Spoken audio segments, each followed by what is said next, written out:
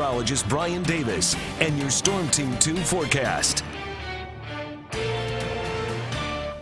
All right, let's check out the uh, forecast here. Whoops, a little quick there on the button. 7 o'clock, 74 degrees.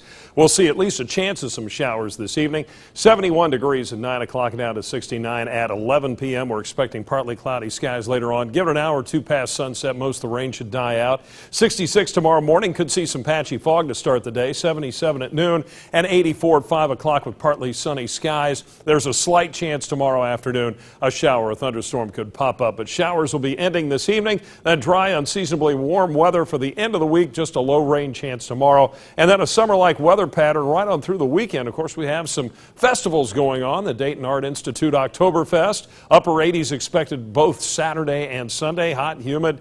And the Germantown Pretzel Festival, upper 80s also, and some hot, humid conditions for them. Uh, looks like it'll be dry, plenty of sunshine. Have the sunscreen handy, but keep that water intake up. Mid 60s for low temperatures tonight, so a bit on the humid side even though it's in the mid 60s. And then tomorrow afternoon up to 85. But look at the 90s showing up on the map out in Illinois, western Indiana. We'll be upper 80s to near 90 by the end of the week. And the tropics remain active. We're still watching Hurricane Maria. Top winds 160 miles per hour, category 5 storm. It's heading toward Puerto Rico, so they could be impacted by that storm tomorrow, uh, moving across uh, the island and then eventually heading on out east of Florida, turning more northward. So Florida, southeastern U.S.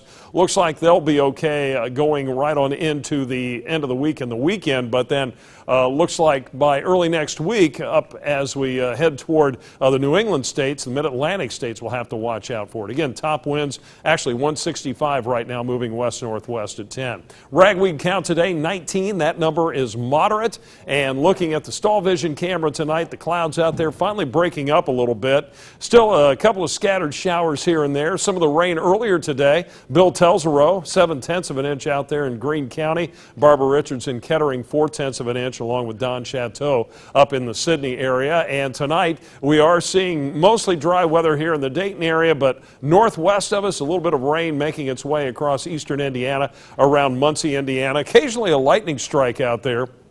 So at least into the early evening, especially our counties to the north, there's that slight chance seeing some rain. There's Hurricane Jose. Not expecting landfall with this hurricane. It'll actually weaken to a tropical storm, but still some gusty winds and rain up toward New York City and Boston. 72 right now in Dayton, south wind at 5, 81% the relative humidity, so it's feeling like summer out there as far as the humidity goes. And a warm front lifts north and northeastward.